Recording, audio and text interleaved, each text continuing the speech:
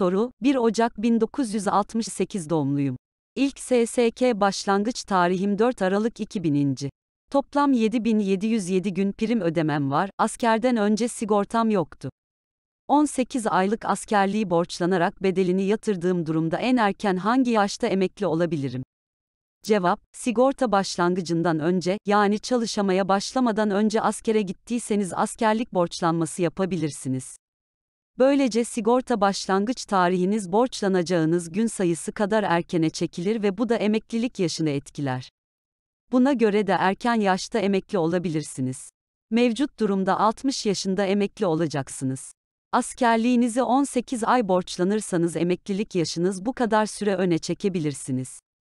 Soru, 1 Ağustos 1977 doğumluyum. 1. 8.1997 işe girişliyim. 6920 günlük primim var, bu ay sonu işten çıkacağım.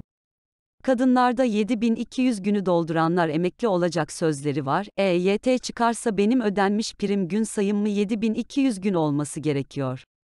Cevap, sizin durumunuzda 20 yıl çalışıp 5975 gün primi tamamladığınızda 55 yaşında emekli olabiliyorsunuz.